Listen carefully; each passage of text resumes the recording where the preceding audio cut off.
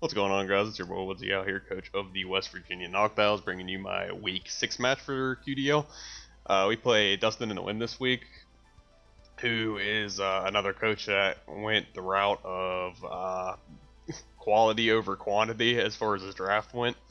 Uh, I mean, he only has eight Mons, which is the minimum amount we are allowed to bring, but uh, his top six Mons here that uh, you can see up top are basically an OU team uh, like post home Gen 8 OU, I wouldn't even be surprised that people were actually running that team before Dugtrio got banned. So, uh, you know, it's it's another team that maybe it's a little easy to prep for just because I have a pretty good idea of what he's going to bring. But a lot of these mods are very versatile too. So uh, I think if you're going to draft a team that doesn't have that many mons, this would be a good way to do it because Jirachi, Clefable, Hydreigon, uh, Rotom could all really run so many different sets.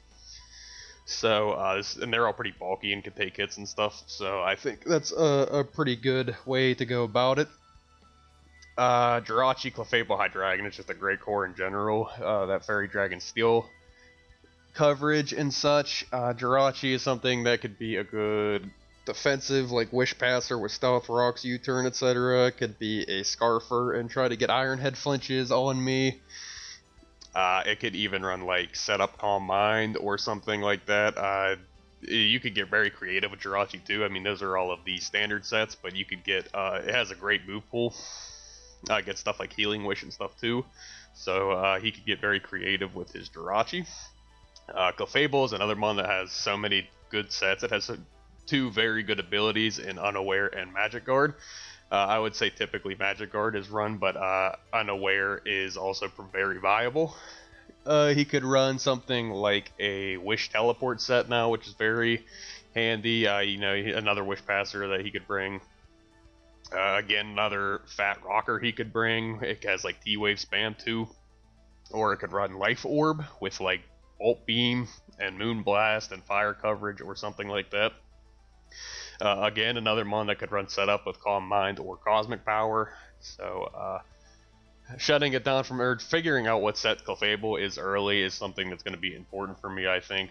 So I know how to take care of it. Uh, Hydreigon, very good breaker. Uh, gets access to Nasty Plot now, meaning that, uh, you know, it was already a pretty good breaker because Dark Pulse is pretty spammable, along with Draco Meteor, especially because it does have coverage like Flash Cannon to deal with Fairy types. And it also gets Flamethrower to deal with my Tapu Bulu, which is a little bit better than Flash Cannon. Uh, it also gets very good utility with Roost and Defog and U-Turn and such. So uh, Hydreigon is another mon that could do a lot of different things well. Could also be pretty bulky, surprisingly. Uh, then he has Dugtrio as a trapper. Um, so I have to be careful of him revenge killing my stuff with Dugtrio, because uh, if there's something that I need and I let it get low, he could revenge kill it and guaranteed get the kill on me. Uh, I have stuff like Heatran, for example, that could be very susceptible to getting trapped by a Dugtrio, so I do expect him to bring it. Uh, Gyarados, pretty much, it can be like a bulky Intimidate set with like T-Wave and stuff, but I think generally speaking, I would expect a Dragon Dance set. Uh, Dragon Dance Gyarados is a very big threat, especially now that it gets good coverage moves like Power Whip to deal with bulky water types. So, uh, you know, Waterfall, Ice Move, Earthquake, Power Whip, etc. could be uh, pretty good coverage along with that. And uh, if it gets set up with like Moxie, you could even run like Scarf Moxie and get set up with attack boost and stuff. So it could be a very good endgame cleaner. Uh, Rotom Heat is another like bulky pivot mon that he could run. Uh, it could run stuff like defog screens, volt switch too, and be a very good support mon. It could also be uh, an offensive mon. It's another Pokemon that got access to Nasty Plot this generation, so it could be very good offensively. It could be a good Scarf mon. Uh, it could even be a good Specs mon, etc. Uh, Rotom Mo has a lot of uh, viability and versatility in that sense. It also has a pretty good typing with uh, electric type plus levitate is pretty good. You know that fire typing also likes that levitate. His only weaknesses I think are like water and rock, and rock's not something that is all that common of a move to be run offensively. So yeah, Rotom he could be a pretty good bulky pivot. And then getting into his low tiers that I probably less so expect him to bring would be Cryogonal, who could be a good hazard removal because uh, in among these, Rotom's like his only really good hazard remover. Um, I mean, Hydreigon does learn Defog, but I think that you probably don't want to be using Defog on Hydreigon all that often. So uh, Cryogonal is another good option for that. Getting access to Rapid Spin, and it can run heavy duty boots with those and be able to ignore those super effective Stealth Rocks. Uh, can also run like Freeze Dry and Toxic and gets Recover and is pretty bulky on the special side along with being pretty fast. So uh, it definitely has its like niche usage, I think, but uh, I don't really expect it. And then Lanturn is another bulky pivot. He has a lot of bulky pivots on his team uh, with uh, stuff like Water Absorb and Volt Absorb, so he could uh, run either or as an immunity. And uh, even if he doesn't have, like, even if he's Volt Absorb, you know, he takes water hits pretty well, so either way, he goes with that. he's a very good switch into both of those types and uh, he could run like Volt Switch and uh, with Toxic, and you know, Bolt Beam coverage with Hydro Pump is very good, or Scald or whatever he wants to run. But uh, again, I have a Swampert, so I don't really expect him to be bringing that either. Uh, so getting into the game plan here, uh, starting with my defensive core, we have especially defensive Heatran, which I think is just good generally speaking as a matchup. Uh, it is dedicated to being able to shut down that Clefable because uh, Heatran is one of the few months that can really deal with any set that Clefable wants to bring with Toxic Taunt and Flash Cannon. Uh, if it's a setup set, I could just taunt it and keep it from Flash Cannoning. If it is unaware, I could Toxic it down. And if it is Magic Guard, Flash Cannon will probably be doing enough damage if I get a taunt on it and don't let it get recovery up anyway. Uh, also, generally speaking, it's pretty good against Jirachi because I could just Lava Plume that down uh, it's not going to be appreciating all that, and it can't really hit Heatran with anything other than like maybe a Drain Punch or something like that. It does get a Aura Sphere, but because I am running specially defensive, I don't really think it's going to be doing all that much damage. Um, it could be a pretty good Draco Meteor switch in, because I, I am running specially defensive, and it is a resist. Uh, it could be a decent Rotom Heat switch in, which I can't really touch Rotom Heat with anything other than Toxic, but I think getting a Toxic off on that thing is pretty nice. I am running the Shed Shell because of that aforementioned Dugtrio could just trap me at any time, and I don't want that to happen because, uh, you know, if Dugtrio gets on the field against my Heatran, I just automatically lose them on without the Shed Shell at least. So, uh, you know, I'm wearing that to prevent that. Uh, going past that, we have another specially defensive mono Tapu Bulu. This one is specifically here to deal with Hydreigon. It's not really here to do anything else. Uh, where if he's running anything other than specs or like a modest life orb set, he will not be able to two hit KO me even with like a flamethrower or I think it was fire blast even. Which I expect him to be running uh, Timid Scarf just to be able to guaranteed outspeed a plus one Haxorus and revenge kill it with a dragon move. So, uh, keeping that in mind, a Scarf Hydreigon will never be able to two-shot my Bulu, and I could OHKO in return with Play Rough.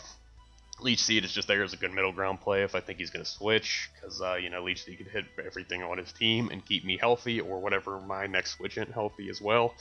Synthesis just there to generally keep healthy, protect the all same idea just to get extra turns of recovery or potentially scout out like a scarf move or something like that. Uh, moving on from that, our last defensive set here is Swampert, even though this is the first time I'm bringing a really a more offensive Swampert with adamant nature rather than like bold or especially defensive or whatever. Uh, the equivalent of Edgequake coverage here, running high horsepower, of course, so that my Earthquakes don't get uh, weakened by my own grassy terrain. Yawn is there because Edgequake does hit a lot of his team very well, with the exception of Hydreigon And physically defensive Clefable. Uh, you know, standardly speaking, I would be able to run something like Superpower for the Hydreigon and be able to hit hit as well. But if he runs physically defensive Clefable, which I think he will because I do have like Haxorus and I have Gallade and so forth, um, uh, it'll be able to eat high horsepowers, whereas like especially defensive Clefable would probably, or I think it's just a chance to shot with high horsepower, and it is also my rocker of the week because uh, this is a good pivot to again Rotom Heat because I am uh, immune to those volt switches and I quad resist overheats and so forth, or no, just I think just regular resistant, but um. And I also shut down his lanturn if he chooses to bring it, and it could be decent against Jirachi, generally speaking, too. Uh, going past that, we have a Trick Room Room Service Gallade. Uh, if the room service procs, I will be slower than everything on his team, even without room service. If I decided to set it up a second time, um, I think the only things that underspeed me would be Lanturn and Clefable, which uh, with max HP I could eat a Moonblast from Clefable surprisingly well. I think it only does about 50%. It's a roll to two hit KO, I believe but I think it's a roll in my favor, and uh, Lanturn's not going to be doing all that much to delayed either with that max HP. Uh, another like decent, half decent, like it could eat a hit from Hydreigon if it needs to, and uh, kill it with close combat in return. Close combat hits pretty much everything on his team, with the exception of Clefable and Gyarados, which is why I am running Poison Jab and Thunder Punch, respectively. This is just something that I, uh, I plan on kind of setting up early to mid game and just getting some chip off on stuff to set up a late game for my two other offensive monsters clean potentially. Um, I don't really expect Gallade to be, uh, you know, winning the game on its own or anything, but I just think close combat is something that could get good chip on his team early. Uh, moving on from that, we have physically offensive expert belt Greninja with Night Slash, Waterfall, Gunk Shot, U-Turn. Uh, I think with that I hit a majority of his team super effectively. I think the things that I don't would be like a Gyarados or a Lanturn and a Cryogonal. Cryogonal is physically physical defense is pretty low, so I'm not all that worried about that. And with something like Lanturn or Gyarados, I could just U-turn out on it anyway. Uh, Gunk Shot is there for that physically defensive cleanse that I mentioned. It will 2-hit KO. Uh, I think it actually does a lot even. Night Slash is just a spammable move along with Waterfall. Uh, this is something that could revenge kill a lot of the stuff on his team. It's faster than I think everything on his team. So this is my speed control, generally speaking. I think it has the ability to two-hit KO everything on his team with the exception of Gyarados and Lanturn, like I said. Uh, if I get the right moves off. But uh, mostly speaking, this is just like maybe a late game cleaner if I get his team shipped down pretty well, or just a speed control mon in general.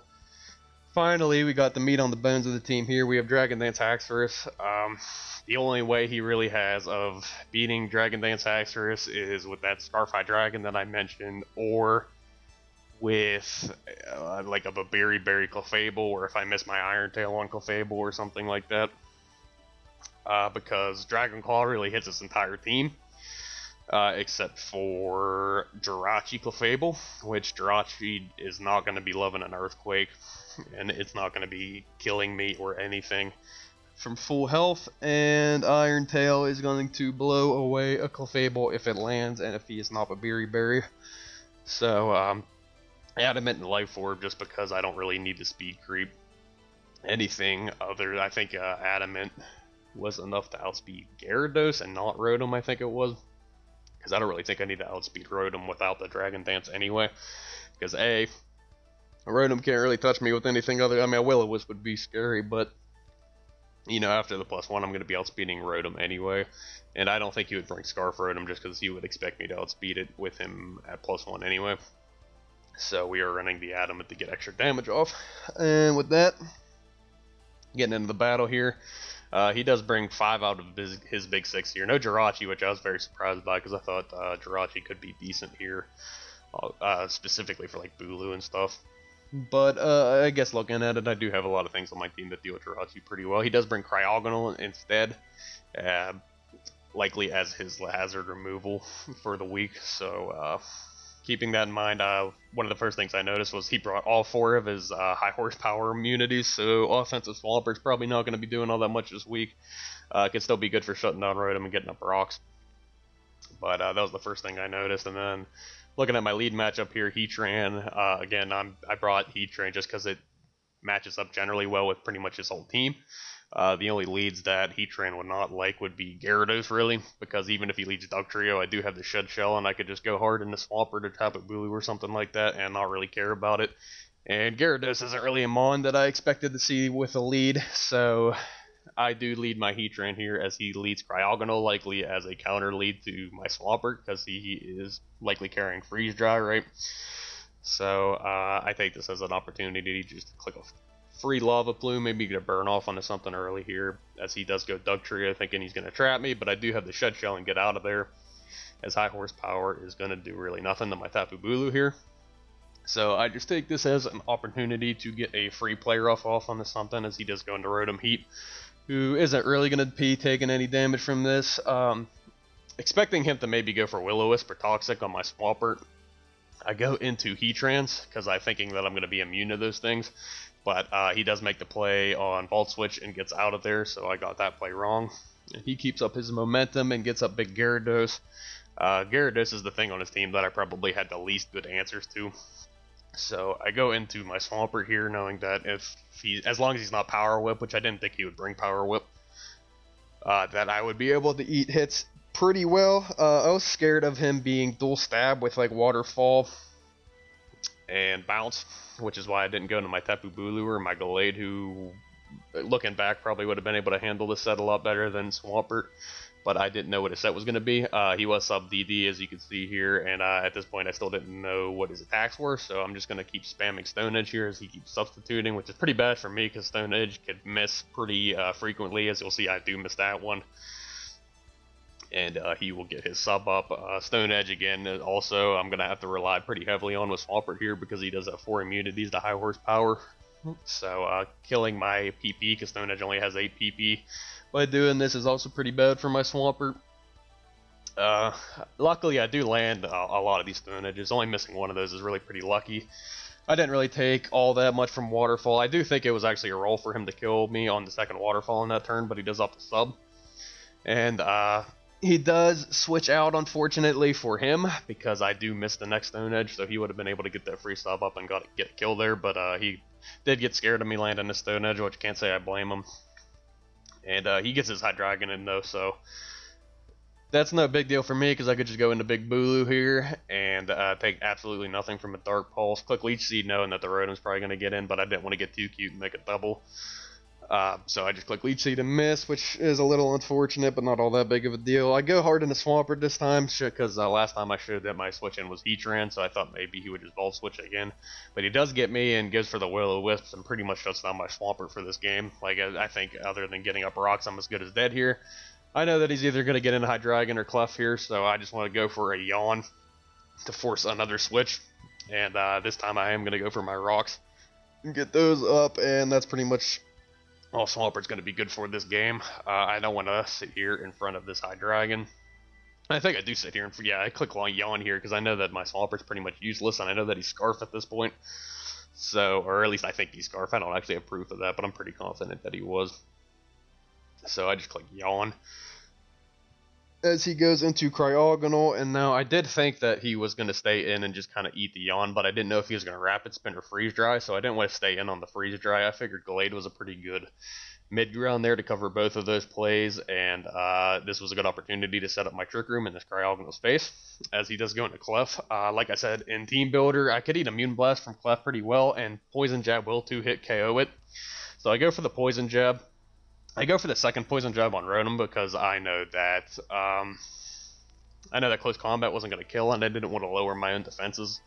So uh, unfortunately for me, he was Sitrus Berry because otherwise I would have been able to get a kill this turn with close combat. But um, and th this is where I maybe misplayed because I knew he had Will-O-Wisp, right? So I probably shouldn't have stayed in here. I probably should have gone into like Swampert or Heatran or something like that. But I do stay in here because I kind of had the mindset going into this game that once I propped my Trick Room with Gallade, I was just going to stay in. Uh, so he does burn me, unfortunately. I do go for the close combat here because uh, I think it would have killed Rotom at that range, or at the very least it was a roll or something like that.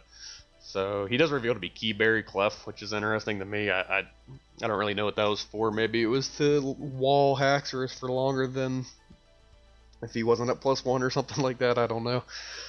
But um, I don't want to let him do set up on me and do clef things, so I switch out into my Heatran. Uh, I click Toxic here because I didn't want to let him get a free Wish Pass into Rotom or Gyarados. There wasn't really anything I could do to stop that once I saw that he was a Wish. Other than get a Toxic off on it to maybe punish it a little bit, but uh, he does opt to go into Hydreigon instead. Which uh, I think getting in his Gyarados there was probably the play because Gyarados was like the biggest threat to me. Um, but he does go into Hydreigon. I could just go back in the Tapu Bulu, even if he does make the prediction here, which he does, and click Flash Cannon. It only does 43% to me. And uh, knowing that I'm going to be able to eat even two more of those, I'm pretty free to just click Leech Seed here. so I do do that. And with the leech seed recovery, leftovers, grassy terrain, and everything, I'm just going to be getting a stupid amount of recovery here. This Hydreigon's taking a lot of damage from toxic leech seed. I'm thinking maybe he wants to switch. I know I'm going to live this flash cannon anyway, so I do go for the double leech seed on the potential switch knowing that even if he does just click flash cannon again, I mean, you see I'm getting all this recovery back, and he is taking a lot of damage, and I know that in the back I have protect for this turn, so I could just uh, kill him off with all that chip damage on this turn. And this is another play that I thought was maybe a little weird from him. He goes into Dugtrio to trap me. Uh, he does have the tech Sludge Wave, but I am specially defensive, which you should have known, so it's not going to kill me and I could just kill this Dugtrio now with Play Rough. Uh, I think going into Rotom Heat or Cryogonal was probably a much better play for him. But uh, oh, but he doesn't go for that. But he now he takes this as an opportunity to get set up with Gyarados again, potentially. Uh, I know that my Tapu Bulu is useless because he loses all four of his remaining Mons, so I just stay in here and click Play Rough to not let him get set up. But uh, he does just go straight for the kill.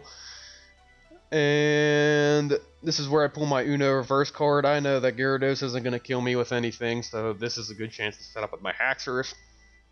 Uh, he goes Clefable. At this point, I, I know that he's not Babiri Berry, so as long as I land an Iron Tail, it's going to die, which I do land. And uh, his team is chipped down pretty well here, even with the Intimidate. I don't really need the attack boost just because his team is so weak at this point.